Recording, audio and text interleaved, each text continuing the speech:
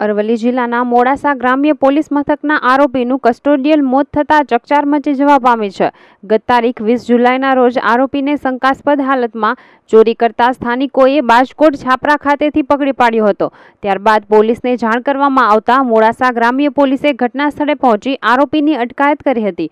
સમગ્ર ઘટના બાદ આરોપીને કસ્ટડીમાં રાખવામાં આવ્યો હતો. આ દરમિયાન આરોપી સનાવાદીની તબિયત લથડતા તેને સાર્વજનિક હોસ્પિટલમાં દાખલ કરવામાં આવ્યો હતો, જેમાં તેને દસ કલાકમાં બે વાર ખેંચ આવતા સારવાર આપવામાં આવી રહી હતી. ત્યારે સારવાર દરમિયાન આરોપી સનાવાદીને તબીબોએ મૃત જાહેર કર્યો હતો.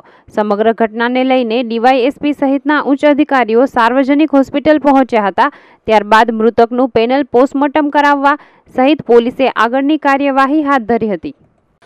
મોડાસા રૂરલ પોલીસ સ્ટેશનની હદની અંદર આવેલ શાયરા ગામે ગઈકાલે બીટ જમાદાર રણજીતસિંહને એ કોઈ અજાણી વ્યક્તિએ ટેલિફોનથી જાણ કરેલી કે એક શંકાસ્પદ વ્યક્તિ અહીંયા ફરી રહેલ છે, જેથી મોબાઈલ વાન સાથે બીટ જમાદાર ત્યાં જઈ અને એ જે શંકાસ્પદ ઈસમ હતો એને પકડેલો, જેનું નામ શનાભાઈ મગનભાઈ વાદી, રહેવાસી ગોપાલપુરા તાલુકો માલપુરના હતા.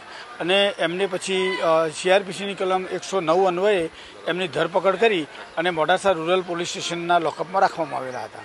દરમિયાનમાં રાત્રિ રાત્રિના આશરે નવેક વાગે આ આરોપી શનાભાઈ મગનભાઈ વાદીને ખેંચ આવતો. તાત્કાલિક ફરજ ઉપરના પીએસઓ એમને મોડાસાની સાર્વજનિક હોસ્પિટલની અંદર લાવેલા અને એમને ડૉક્ટરશ્રીએ જરૂરી સારવાર કરેલી.